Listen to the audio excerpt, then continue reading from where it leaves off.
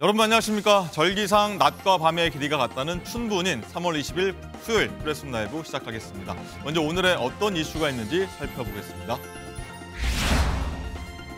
언론인 회칼 테러 사건을 언급해 논란이 됐던 황상무 대통령실 시민사회 수석비서관이 오늘 오전 전격 사퇴했습니다. 이와 관련해 총선을 3주 앞두고 불거진 당정 갈등이 봉합될지 관심인데 이종섭 호주대사 거치도 주목받고 있습니다. 위성정당 국민의 미래 비례대표 후보 명단을 두고선 한동훈 위원장과 친윤계 이철규 의원이 고성을 주고받은 것으로 알려지는 등 잡음이 나오고 있습니다. 민주당 서울 강북을 지역 경선에선 현역인 박용진 의원이 결국 고배를 마셨습니다.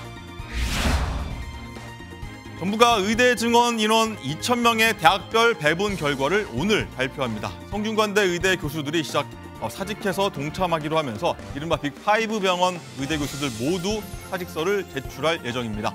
자, 프레스 라이브는 1분 뒤에 돌아오겠습니다.